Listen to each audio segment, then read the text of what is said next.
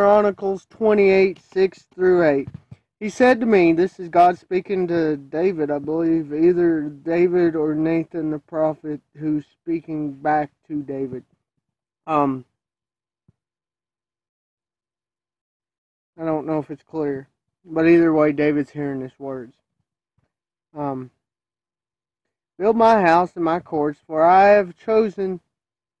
He said to me, Solomon your son shall build my house and my courts, for I have chosen him to be my son, and I will be his father. And so this is talking about Solomon being chosen by God to be next king. Now, Solomon was not the oldest son, so ideally it would have went to him if they went on human standards. But God's the one that picked him, so Solomon was going to be king. And oftentimes it would go to the oldest king, the son. But here God overrules that and says Solomon's my next king, one to be the king. And he's going to build the temple, my temple, my house. Um, so we see God choosing Solomon for next one. We should allow God to choose the leadership in the church, not us, the church, choose our own leadership. It should be God ordained. But we all should be willing to step up into a role so God could use us. I will establish my, his kingdom forever if this is conditional. He be constant to do my, my commands and my ordinances at this day. Solomon would follow God for a period of time, but would fall into idolatry and womanizing, as well as probably other things that aren't mentioned in Scripture. Um, but, and because of this, God's promise to David would be fulfilled. Jesus came through David.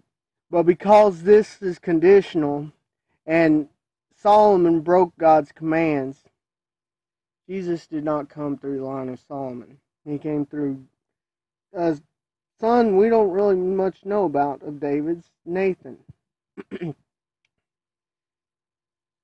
now, therefore, the sight of all Israel, the assembly of the Lord, and the audience of our God, observe and seek out all the commands of the Lord your God, that you may possess good land and leave it for an inheritance to your children after you forever.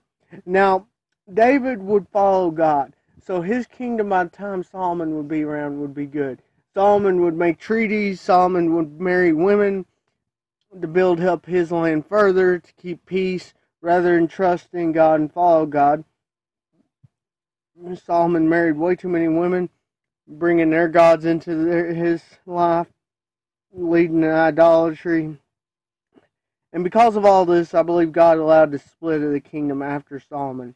A split that the kingdom never really was returned the way it should have been. Um, even when they returned from exile, still ain't the kingdom the way it was meant to be. I, I, I don't think it will be until the crime of Christ and he sets up his kingdom will it ever fully be restored the way it was during this time of David prior to his death because of Solomon's error. We need to realize that if we don't follow God's commandments, it may affect generations. But if we truly follow Him, then through us, He can make a difference that lasts past us into generations.